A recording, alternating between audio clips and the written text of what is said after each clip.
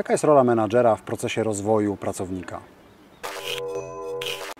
Każdy pracownik, w zależności od swoich umiejętności, od swojej motywacji, potrzebuje zupełnie innej, e, innego wsparcia ze strony swojego menadżera, lidera e, w zespole. Dlatego też, kiedy rozpoczynamy proces e, rekrutacji, mamy tego pracownika, który ma bardzo silną motywację, ale jeszcze nie potrafi, to w tym etapie pracownik potrzebuje przede wszystkim od nas nauki, oczywiście pomocy, docenienia, rozmów, ale też i anioła stróża i chwalenia, doceniania jego za każdy, za każdy postęp. To ważne, żeby w tym pierwszym etapie nie dyscyplinować, nie podnosić głosu, bo to może zniechęcić niektórych pracowników.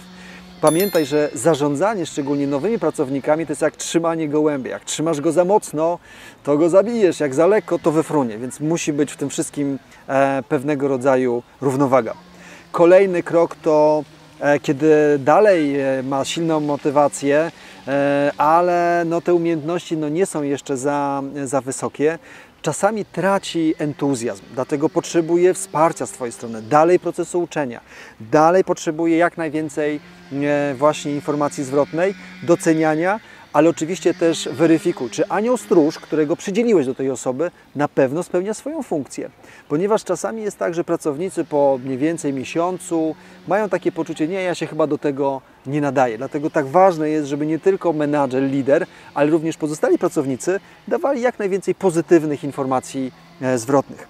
Kolejny krok, kiedy już ten pracownik ma kompetencje, już potrafi wiele rzeczy, często to trwa 3, 3 czasami 6 miesięcy, następuje taki element, kiedy on potrafi, ale jemu się za bardzo nie chce.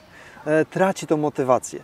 Wtedy należy go właśnie przede wszystkim przypomnieć zasady, jakie panują w Twoim lokalu, e, zadbać o to, żeby go zaangażować e, w nowe działania, ale również e, motywować, ale motywować poprzez odtruwanie.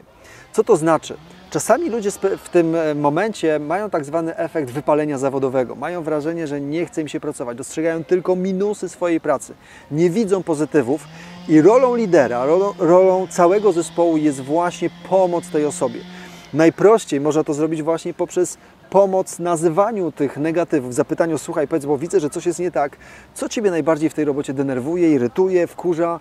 E, kiedy ta osoba już zaczyna mówić, mówić, mówić, to potem warto zapytać, no dobra, powiedz mi, a co lubisz w tej pracy? Właśnie w takiej kolejności, najpierw negatywy, a potem pozytywy. I ta osoba nagle może powiedzieć, no ja nic nie widzę, widzę tylko i wyłącznie negatywy. Wtedy warto mieć swoje. Wiesz, ja uważam, że ta praca jest fajna, bo dzięki niej mogę się rozwijać, dzięki niej zawsze mogę liczyć na wsparcie na przykład menadżerów albo e, właścicieli, albo na przykład mogę zawsze liczyć na jakąś pomoc e, ze strony zespołu, albo zawsze bardzo nas, e, wiesz, chwalą, doceniają, więc ja widzę, albo goście są zadowoleni, zobacz, ja, mnie osobiście motywują goście do tej pracy. Więc im więcej my ze swojej strony powiemy takiemu pracownikowi, jest większa szansa na to, że zobaczy. Oczywiście pamiętaj, to on ma poszukać właśnie tych również pozytywów swojej pracy. Natomiast kiedy ma silną motywację, ma silne kompetencje, pamiętaj, że tutaj ten pracownik potrzebuje z kolei od Ciebie nowych zadań, nowych wyzwań, bo jeżeli będziesz, e, nie będziesz mu dawał nowych wyzwań, jest ryzyko takie, że będzie miał poczucie, że już wszystko się nauczył i odejdzie, poszuka nowego miejsca.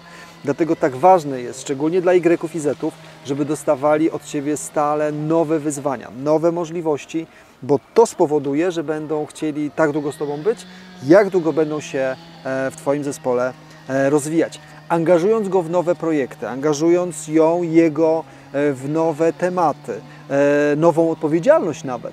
Pamiętaj, że też delegując zadania, na, na pewnych etapach delegujesz zadanie albo, albo chociażby pewne przywileje, natomiast dopiero na samym końcu delegujesz zaufanie, czyli nie od razu dajesz tym ludziom wszystko i mówisz, tak, macie to już, jesteście za to odpowiedzialni.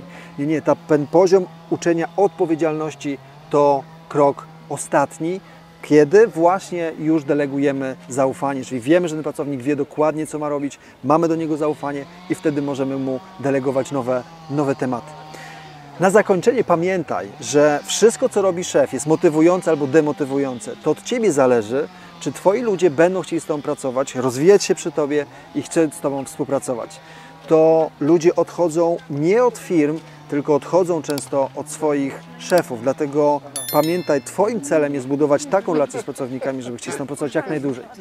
Dzięki za wysłuchanie, pozdrawiam, cześć.